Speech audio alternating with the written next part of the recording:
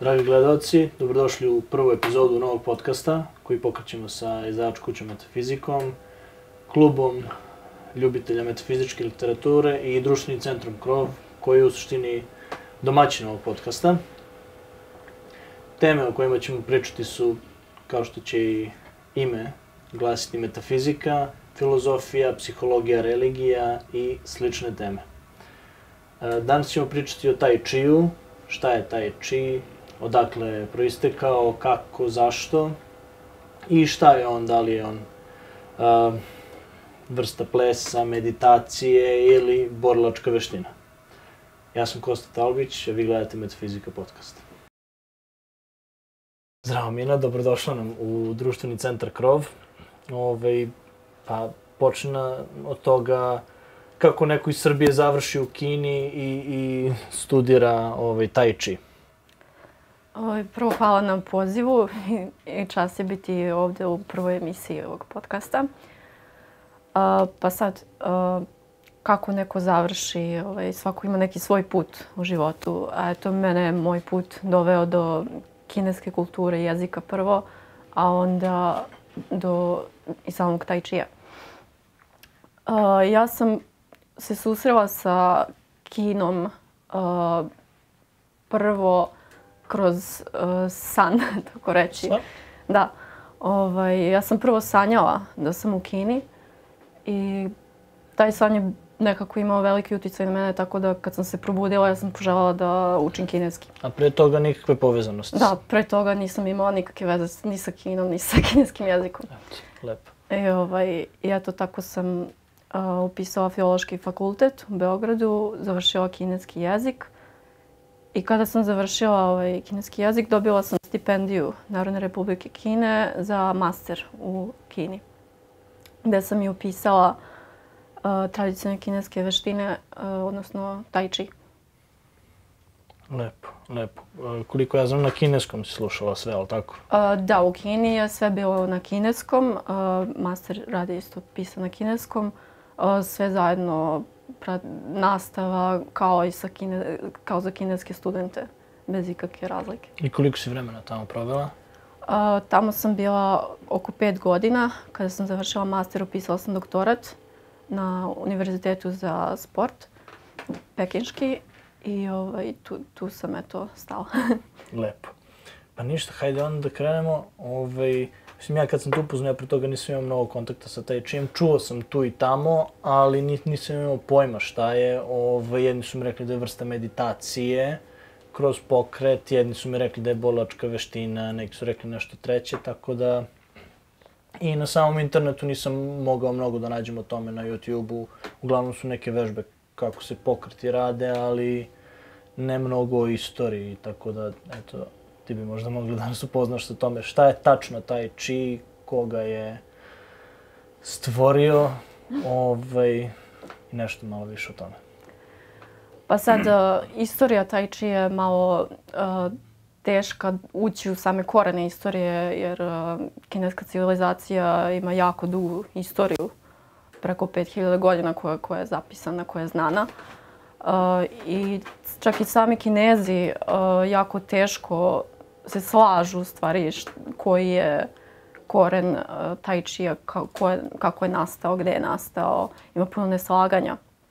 E, sad imamo, na primjer, jednu stranu koja veruje, koja je kao tradicionalni e, smer koji veruje da je taj čiji u stvari vodi poreklo od daoističkih monaha sa planina kineskih koji su izučavali daoističku alhemiju i koji su eto, pronalazili načine kultivacije tela i duha i tako su došli do tih znanja koje ta znanja možda vode čak poreklo od nekih drevnih civilizacija. A sada imamo i drugu tu neku ovaj, stranu koja je više akademska i koja više veruje da je Tai Chi uh, nastao od uh, Chen stila, u Zhenjiagou u Kini eh, i da taj stil je u stvari borilačka veština koja, koja se razvila i koja je sada jedna od najpoznatijih i popularnijih u Kini kao stil. Inače, kao stilove imamo eh, pet osnovnih stilova tai chi koji su poznati, a sa tradicionalne strane ima bezbroj koji nisu toliko poznati, ali eto, i dalje opstaju. Mm -hmm. Ok, reci mi, da li ti, recimo, stilovi iz tradicionalnog, da li zavise od učitelja, da li možda po njima dobijaju imena? Ili baš postoji opšti neki stil? Pa, a, mnogi stilovi koji nisu toliko poznati, kao stil koji sam ja izučavala u Kini, vodi poreklo sa planine na koje je nastao.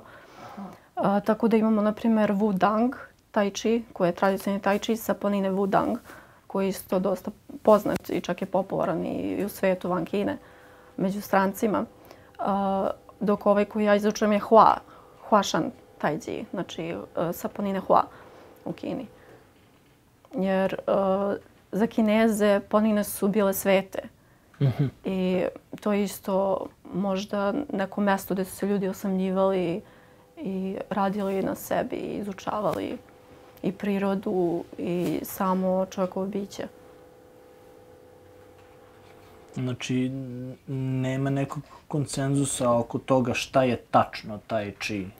Je li ipak ima razlike koliko je znači, tog tradicionalnog i akademskog, gde u tom tradicionalnom, ako imamo tu kultivaciju duha i tela, a ovde je nekako kao borilačka veština. Da. E, znači, Tai chi eh, obuhvata mnoga znanja Tai chi je kao biser kineske kulture, jer eh, on obuhvata i kinesku religiju, filozofiju, medicinu, borilačke vještine, eh, mnogo stvari u jednom. Tako da je teško reći šta je tačno tai chi. Ali osnova neka tai chi-a bi bile borilačke vještine, jer je ipak to neki izraz, fizički izraz.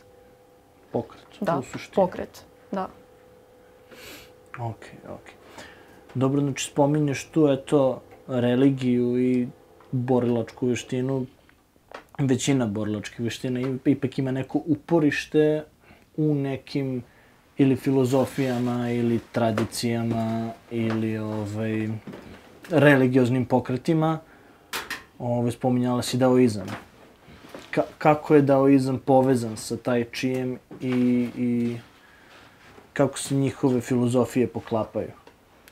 Pa, kao što sam rekla, mnogi daoistički monasi su izučavali taj uh, daoizam. Uh, daoizam je inače originalna kineska religija. Imamo u Kini budizam, konfucijanizam i daoizam. Uh, budizam, kao što znamo, potekao iz Indije, koja je prenut u Kinu, ali daoizam je osnovna religija, odnosno više bismo rekli filozofija kineskog naroda. -hmm koja u stvari predstavlja prirodu. Znači to su prirodni zakoni po kojima su se kinezi vodili. Ok, i ka, ka, kako je onda taj čip proistekao iz te filozofije? Ajde, tako da... Pa proistekao je tako što su proučavajući prirodne zakone uh, tela, prirode, univerzuma, oni došli do zaključka da je čovekovo tijelo u stvari mali univerzum u velikom univerzumu i svi zakoni koji važe za univerzum važe i za naše telo. Da li ljudi koji praktikuju taj chi ili recimo ti sveštenici taoizma, ako možemo tako da ih nazovemo, da li praktikuju neki specifičan način života? Da li imaju neka ograničenja? Znamo da recimo muslimani ne smiju da piju vino ili ovaj, da, da svako ima neka ograničenja i neke stvari koje su svete. Kako, kako to izgleda u taoizmu i eto, kod ljudi koji praktikuju tai chi? Pa, e, tai chi obuhvata, e, u Kini postoji e, jedan termin koje je e, na kineskom se kaže Wu e, što znači Wu znači borilačka veština, D znači moral. Znači, u Kini postoji moral koji obuhvata kao čitav koncept e, za, koji je vezan za borilačke veštine. To obuhvata mnogo stvari. Od obhođena jednim prema drugima, pa dok sve do, kao što si rekao, i do načina ishrane i tako nekih stvari, ali ovaj, suštinski ništa nije, ne postoji neka ograničenja u savremenom životu, neka striktna, kao što su onda imali asketski život, dalistički sveštenici, ali mm, svakako treba, to je stil života koja je kultivacija, samo kultivacija. Što znači da mi moramo voditi račun o svom telu, da bude u skladu sa prirodom. Mm -hmm. Eto, to su neke osnovne. Znači, ta neki opšti zakon da. bi bio da telo bude u skladu sa prirodom. Taoizam ove, i taj, to je tai chi kao borlačka veština ove, u svojoj osnovi ima neke forme, neke pokrete, ove, kao i svaka druga. Ove, pa reci mi na čemu su bazirani ti, ti pokreti i zašto izgledaju tako kako izgledaju? A, pokreti u Tai Chi su dosta inspirisani prirodom i mnogi nazivi pokreta Tai Chi-a baš nose naziv e, koji je povezano sa e, pokretom nekih životinja ili nekih stanja u prirodi. E, na naprimjer, imamo pokret Beli ždral, širi krila i leti u nebo, gde treba da osjetimo tu silu koju Beli ždral stvara. I ovaj, svaka životinja također ima i svoje meridijane i kroz to isto možemo da razumemo i naše meridijane i, i protok energije u našem telu. Na šta su tačno ti meridijani? naše telo po kineskoj ovaj, medicini. medicini, tradicionalnoj medicini, kinesko telo je sastavljeno od meridijana. To su energetski kanali. Ili, na primjer, u jogi imamo isto i čakre. To bi bio pandan čakrama. Da, znači. prilike. Uh -huh. I ovaj, imamo i akupunkturne tačke. To su isto kao energetske tačke u telu koje su spojene svukuda i koje u stvari nam pomažu da protok energije slobodno teče kroz čitavo telo. Mm -hmm. Znači ti pokreti treba u suštini da kultivišu energiju i da aktiviraju te tačke. Da, vežbanjem tai chi-a otvaramo sve kanale, energetski kanale u telu. Uh, ono što se vežba, što se kultiviše u samom tai chi to su jing, qi i shen. Jing, to je seme u kineskom, ili to su čak i neke telesne tečnosti i fluidi u, u telu. Uh, qi, qi ili qi, kako je često isto se može čuti kod nas, uh, qi je energija, odnosno to je ta neka životna energija koja, koja nas drži živim u stvari. Uh, i šen koja bi bila duh ili dah, znači duša, kako već nešto spiritualno, duhovno u nama. I to su tri životne esencije koje se kultiviše u tajđiju. Znači, uh, osnovna, to je osnova tajđija i kultivisanjem te tri životne esencije mi dostižemo nešto što se u kineskom daoizmu, odnosno alhimiji, zove pilula besmrtnosti, odnosno dugovačan život bez bolesti. -hmm, da, recimo oni su imali i u Kini dve vrste alhemije, je li tako? Uh, imali su Neidan, Vajdan, to je spoljašnja i unutrašnja alhemija.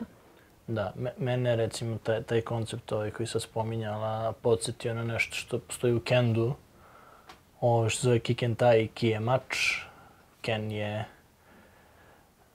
ne, ki je energija koju proizvodimo, mm -hmm. ken je mač, a taj je taj pokret. I onda u tom trenutku moramo da imamo udarac mačem, energiju i pokret. Mora sve da bude pravilno, tako da to, to mi je bila paralela na, na to. Reci mi, uh, još to je, to smo poskočili, samo ime Tai Chi, šta znači? Tai Chi uh, na kineskom jeziku, odnosno Tai Chi, Tai Chi Chuan, bi bilo potpun izraz, potpun uh, naziv Tai Chi. Uh, tai u kineskom znači nešto vrhovno, najviše vrhunac. Ji je opet nešto ultimativno. Chuan znači pesnica. Znači, kad bi to sve spojili, Taiji Čuen bi značio ultimativni, vrhunski... Ultimativna borilačka veština. Borilačka veština, da, na neki način odnosno šta to u stvari znači dublji ovaj, smisao toga je da ono što je u kineskom, kineskoj kulturi bitno, čak i sam Sun Tzu je rekao uh, u veštini ovaj, ratovanja knjizi da uh, vrhunac borbe je pobediti bez, bez ratovanja. Znači, to je ono što isto uh, Lao Tse, na primjer, uh, naziva meka sila. I Morihio Shiba isto. Da, znači meka sila pobeđuje krutu. Pa reci mi, ka kako se škola razvijala? Znači, recimo ta tvoja i te druge, da, da li da li može da se isprati neka linija razvijanja, možda razdvajanja i da li se recimo pokriti menjaju ili se zadržava ovaj, tradicionalno? Od kineske revolucije uh, dosta se izmenila sa, sam Tai Chi. Znači, posle kineske uh, kulturne revolucije došlo je do standardizacije pokreta i modernizacije samog Tai Chi-a. Pre toga Tai Chi je bio borilačka veština kao i kultivacija, samo kultivacija, put samo kultivacije, kao što smo rekli. Ali uh, u doba kineske kulturne revolucije oni su želeli da to promovišu kao, uh, kao nacionalno neka fizička aktivnost koja bi održavala zdrav duh, zdravo telo kineske nacije. Kao nama kolo, recimo. Pa, možda tako nekako, da. ovaj, tako da oni su dosta uveli standardizaciju i pokreta uh, i formi i stilova, tako da dosta se izgubilo tradicije. I... Znači u tom uh, stvaranju nekog nacionalnog sporta, ajde ako tako možemo da ga nazovemo, taj čija, kaže da se dosta izgubilo ovaj, u, u, pokretima i znanjima. Ovaj, da, da, li, da li možda hoće da kaže da je na neki način obezduhovljen taj či time što je tako popularizovan i predstavljen skoro kao državni sport? Pa ja bih pre rekao da je više mm, mehanizovan na neki način. Postoji mehanički. Mm Znači, ono što je bitno u Tai chiu, u tradicionalnom Tai chiu, je individualnost. Znači, svako telo je jedinstveno. Svako je svoj jedinstveni mali univerzum. I ako ćemo svi biti jednaki, svi isti, mi gubimo ono što nas čini na, nama samima. Jer svako ima svoje neke unutrašnje potencijale i sposobnosti koje su jedinstveni za, za svakoga od nas. I upravo taj čijem, uh, ono nam pomaže da izvučemo to, to najbolje iz nas. Što na prvi pogled zvuči dosta kontradiktorno u poređenju sa tim što je Kina htjela da uradi, zar ne? Ako su oni htjeli da ga da. popularizuju za svakoga i da svi oni vežbaju zajedno u jednoj, recimo, sali, to meni zvuči kao baš neka šablonizacija toga. Pa upravo je to uh, šablonizacija je ono što ubija tradiciju i ono što, što je izvorno smisao i ideja. Ali opet oni nisu možda imali drugog izbora jer su oni želeli da sačuvaju na neki način uh, isto tu, tu istu tradiciju. Ove, hajde reci nešto više o tom tvom specifičnom pravcu. Uh, Huashan uh, Taiji je dosta redak i u samoj Kini. On potiče sa Huashan planine, kao što sam rekla, a doneli su ga monasi u Peking, u hram Belog oblaka, Bayungwan u Pekingu, gde se proširio na neke od ljudi iz naroda koji su sačuvali tu kulturu i preneli. Znači, prenosilo se isključivo sa učitelja na učenika, nije bilo puno pisanih zapisa i zato je jako teško ući u trag i, i uopšte znati, e, ovaj, imati puno informacija o tom samom stilu. Mm -hmm. I to nas dovodi na ono prvo pitanje moje, ko je osnovao taj či, da, znači da, da ne možemo da, da lociramo baš zbog toga. E, ima neko možda mistično predanje o, o nekoj figuri.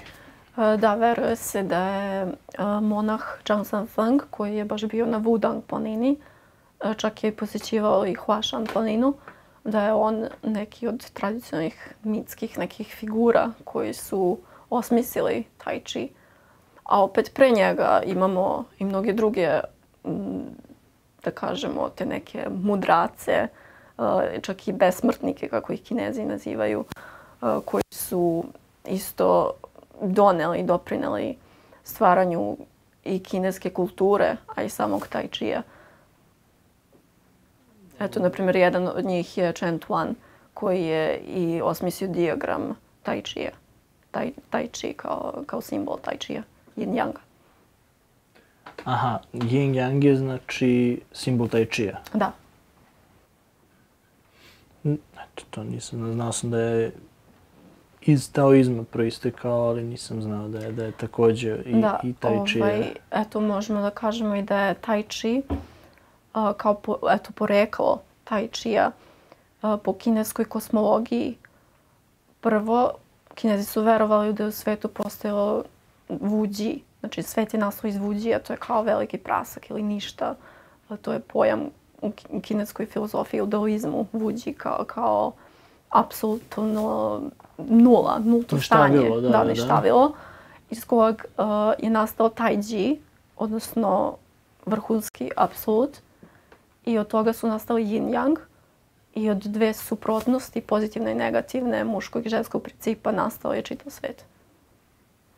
Da, znači Tai Chi zapravo ima jako duboku filozofiju iza sebe. Da. Vodi do samog početka stvaranja univerzuma, u stvari. Da, što je interesantno, ne znam da li neka druga borilačka veština ide toliko ovaj toliko u detalje i toliko se razlaže filozofski. Ovaj recimo ne znam ja ne znam Shaolin monasi da li je to nešto slično ili je skroz drugačije. Uh, Shaolin uh, pripada takođe uh, kung fu, kao što smo rekli, borilačke veštine, odnosno kung fu, kako je poznato na zapadu. Uh, U Kini je poznato kao wushu. Wushu u stvari znači uh, borilačka veština, umetnost borenja. Uh, Kung fu bi značilo uh, u kineskom jeziku kung, gong fu u stvari, na kineskom jeziku znači uh, kada uložite veliki napor u nešto i onda iz tog napora imate neku veštinu. Znači, mnogo truda, uh, znoja uložene u nešto i onda imate neki rezultat. To znači gong fu. Znači, to ne označava borilačke veštine u kineskom jeziku.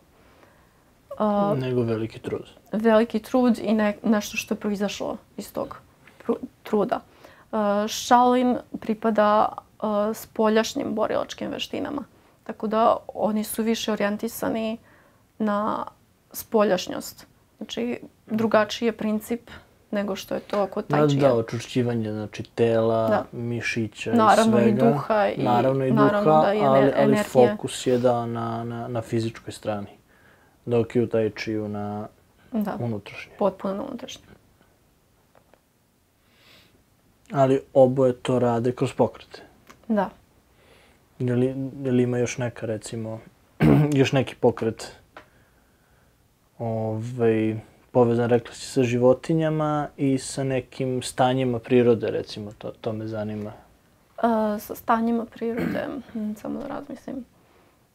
Mm, pa dosta ima životinja. E, Znači imamo životinja koje su inače česte u prirodi. Tigar, zmaj. Zmaj je jako ovaj, dosta rasprostranjen, u kineskoj kulturi, pogotovo isto u Tai Chi-u, kao energija zmaja. Uh, imamo tigar, uh, majmun i razne životinje. Imamo isto neke vrste ptica um, i eto, to su sve neke specifične energije iz prirode. Da imamo dosta i simbol drveta.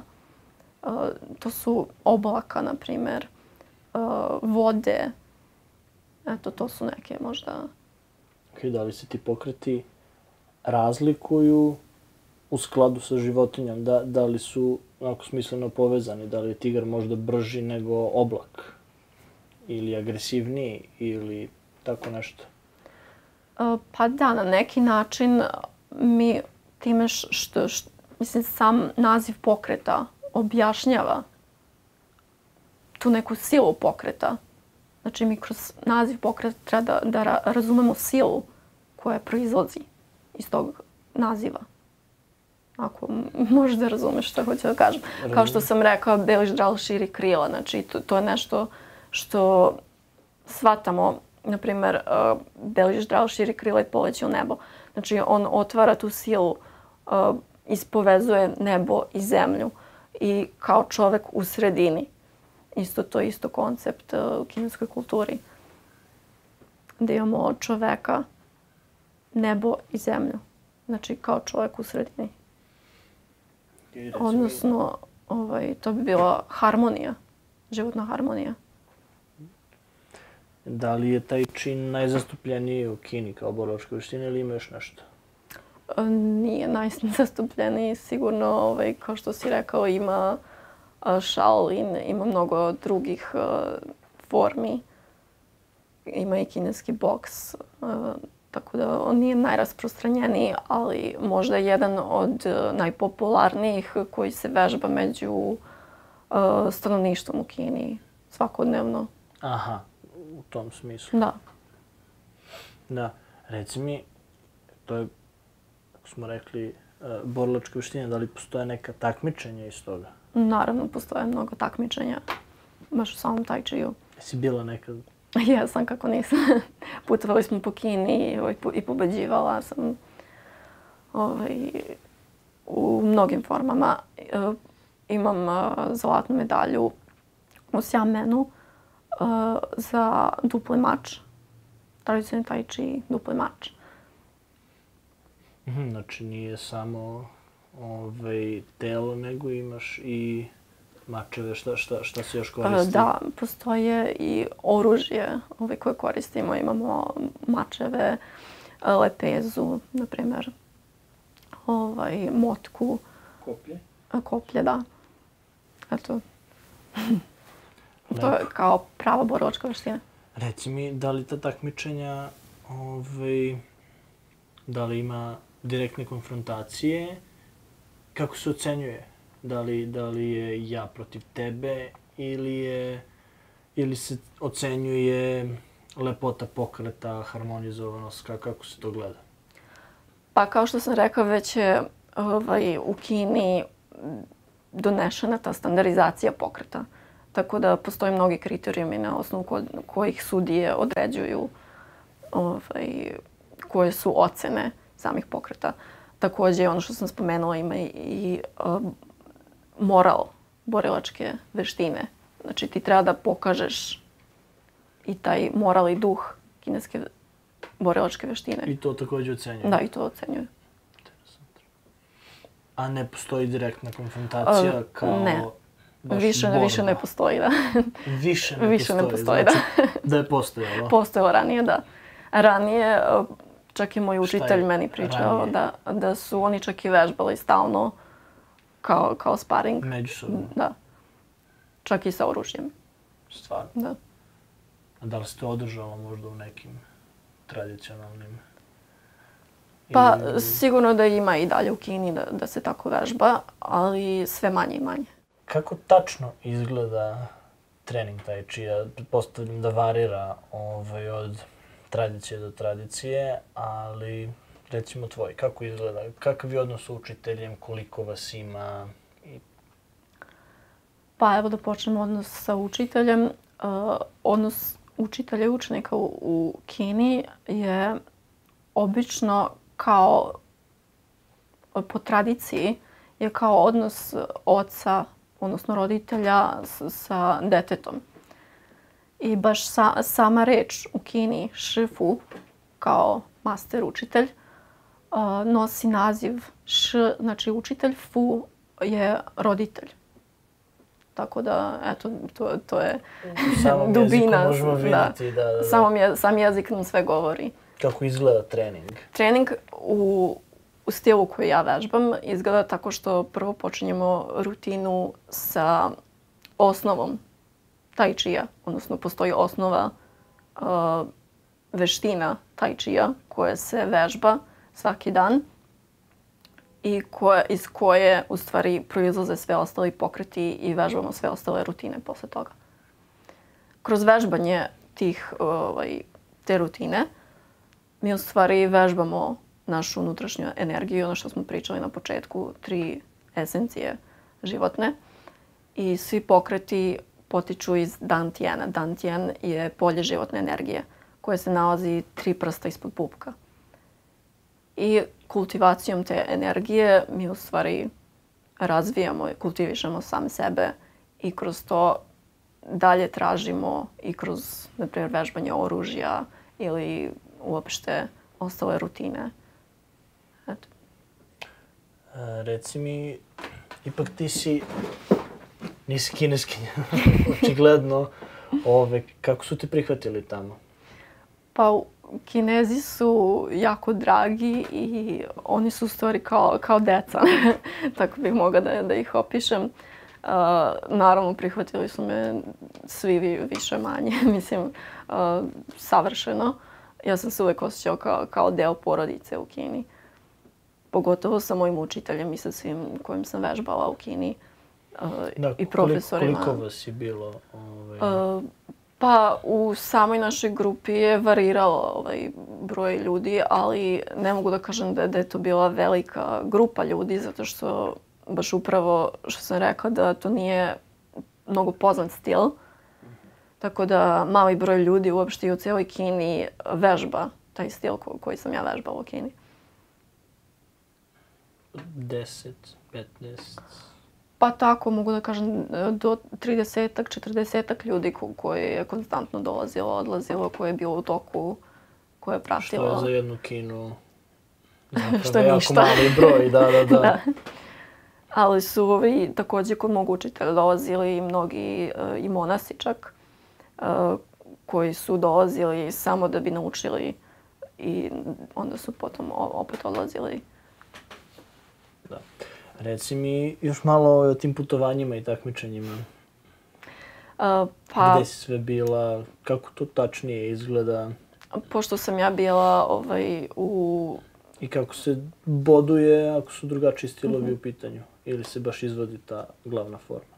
Pošto sam ja bila na Univerzitetu za sport, uh, to je bilo ne, neka osnova koju smo mi morali da ispunimo u toku studija da odlazimo na takmičenja.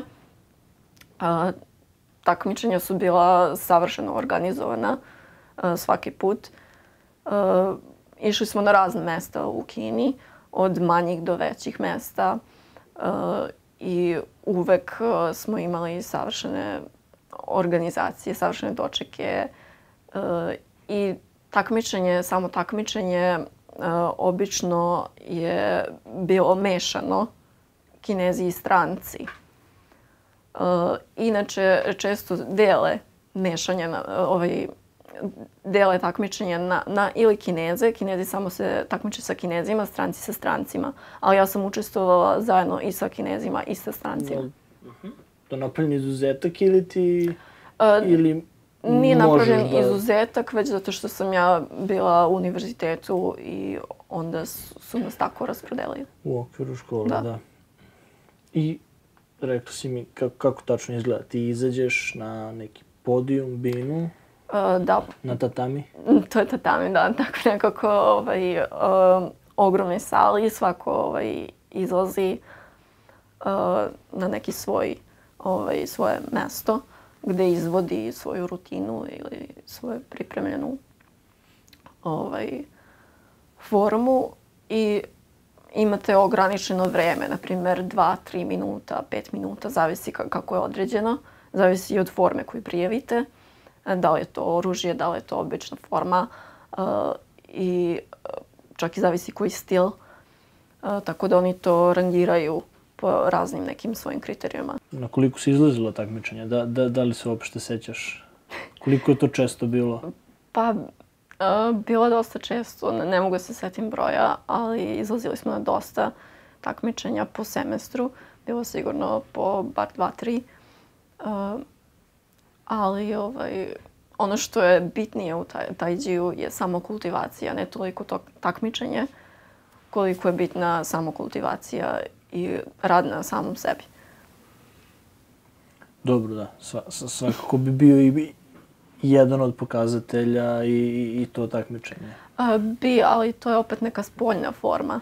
To nam opet nije neki a, neko merilo onoga što smo mi dostali kao, kao, kao unutrašnje vežbe. Da. da. Ove, kada si išla u kinu, da, da, da li ti je i upisala, u suštini upisala taj či, da, da li si znala da ćeš se vratiš? Um, pa nisam u suštini.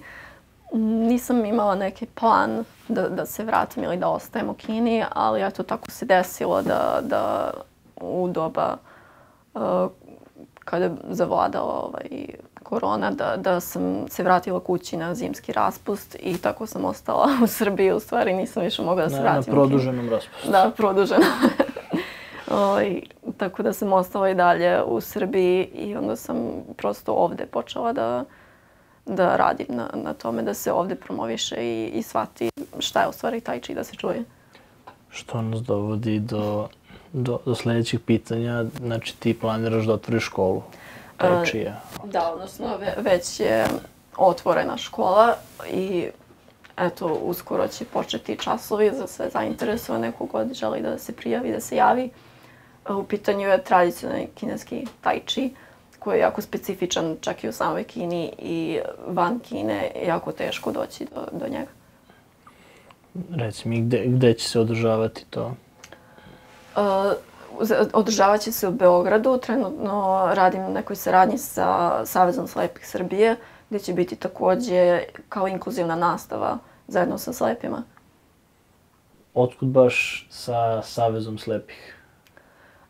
Pa eto, u Kini je, na primjer, rađeno dosta istraživanja na, uh, sa slepima uh, i ovaj, dok su vežbali tai chi i dokazano je da oni u stvari dostižu brže nego mi te neke unutrašnje energetske otvaranje, na primjer, čakri, uh, te energetske kanale, uh, pročišćavaju brže nego mi, jer su oni nekako usmereni ka sebi, ka unutrašnjem, ka intuitivnom.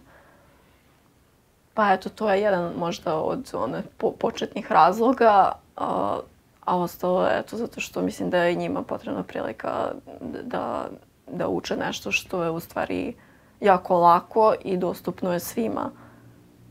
Lepo, lepo. Znači misliš da, da, da taj, nećemo, manjak ili potpuno osustvo vizualnih informacija ih je nekako usmjeli, us, usmerilo na unutrašnji rad. Da, ta, taj čiji u stvari dosta vizualan, ali potrebna je neka unutrašnja imaginacija, unutrašnje neko oko koje bi videlo sve to i, i osjetilo, više osjetilo ono što se dešava u nama i van nas.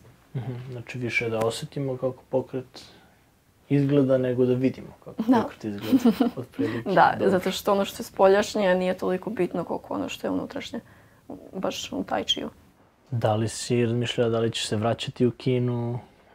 Ovaj, ili ćeš ostajati ovde? Da li si dalje u kontaktu sa njima? E, naravno da sam i dalje u kontaktu, pogotovo sa mojim učiteljem koji me i dalje vodi kroz moje vežbanje. E, ali trenutno nema mogućnosti da se vratim u kinu jer su škole i dalje zatvorene i prosto ne pruža se mogućnost e, povratka niti davanja vize za strane studente. Da. A reci mi, da li si možda pokušala ovdje da uspostaviš kontakt sa kineskom ambasadom ili sa kinezima koji su ovdje Ja sam naravno imam puno kineskih prijatelja u Beogradu i naravno sarađujem sa njima i družim se. Da. To, to, to. Dobro, da, da li bi ih dovelo u društveni centar Hrvata? pa naravno, ako žele da dođu. Dobro, ti, Možda ti, možete da puštate neke filmove na kineskom. ti ih pite, vrlo rado. Eto, Ili sa ne, kineskim titlom. Ne, ne, ne mogu da se setim da, da, da, da smo kineski... Jesmo. King Express i In the Mood for Love, ja mislim da su bili. Ove, kako, kako to izgleda? Ove, da, da, li se, da li su se oni priključili tu, da, da li hoće da treniraju taj či sa tobom? U Srbiji? U Srbiji, da. Pa, uh, kinezi kad god se susretnu sa mnom i čuju da, da vežbam tai chi, oni se uvek uh, osjećaju ponosnim na svoju sobstvenu kulturu. Zato što, eto, upravo jedan stranac je prepoznao da je to jedan dragulj uh, ko, koji oni možda sami su zaboravili. Kako izgledaju te kulturološke razlike, koliko su oni zapravo različiti od nas i da li možda misliš da će taj čiji uspeti ovde u Srbiji možda da nas poveže sa tim kineskim zajednicama sa kojima možda nemamo mnogo kontakta jer se drže nekako sami za sebe ovde. Ili se bar tako meni čini. Pa on, ono što uh, sama filozofija tradicionalnog tai chi govori je da je tai chi jedna velika porodica i da tai chi pribada svima ljudima, znači svima na celom svetu. Uh, tako da svi smo mi opet na nekom univerzalnom planu jednaki. Iako postoji mnogo i neslaganja i kulturnih razlika, možda kod Kineze je logika potpuno drugačija nego kod nas. Ali opet mi smo svi jednaki i svi imamo neke univerzalna neka načela koji nas spajaju.